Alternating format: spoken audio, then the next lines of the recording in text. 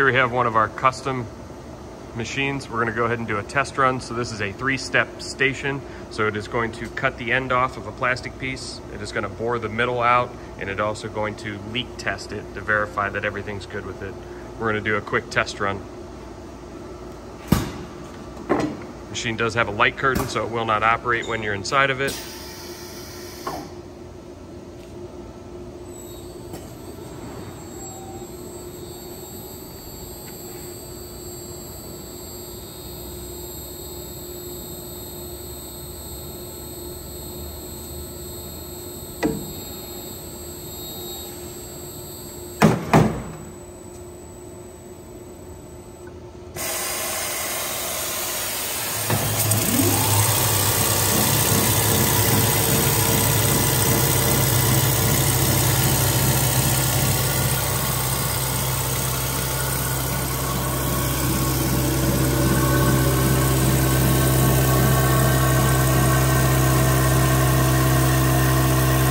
This step will bore out the center and chamfer the ends.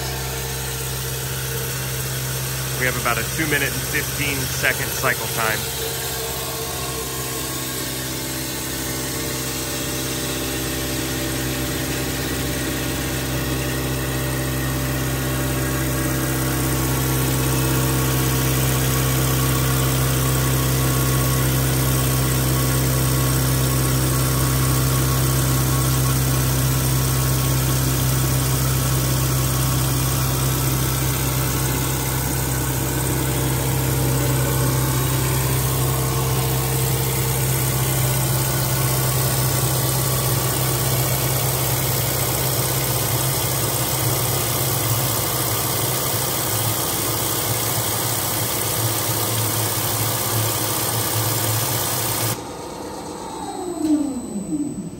It will move over to the final station.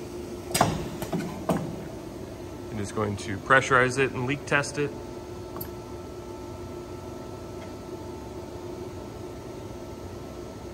You do have your screen up here that's going to give you notifications on what the machine's doing.